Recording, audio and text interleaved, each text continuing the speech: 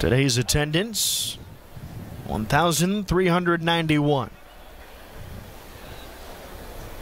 On a Friday afternoon in downtown Memphis. In the air, deep out to right. That baby's gone! Nick Dunn walks this baby off. First walk-off win of the season for the Birds, and that may just unlock Nick Dunn.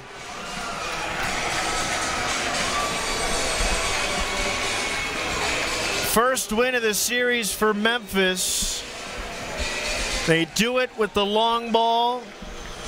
The third home run of the season for Dunn. 4 3 the final. Let's have more morning games. 11.05 first pitch, game done in an hour, rather two hours and 25 minutes. Masterful performance from Sem Robberse. Jacksonville fights back late, but the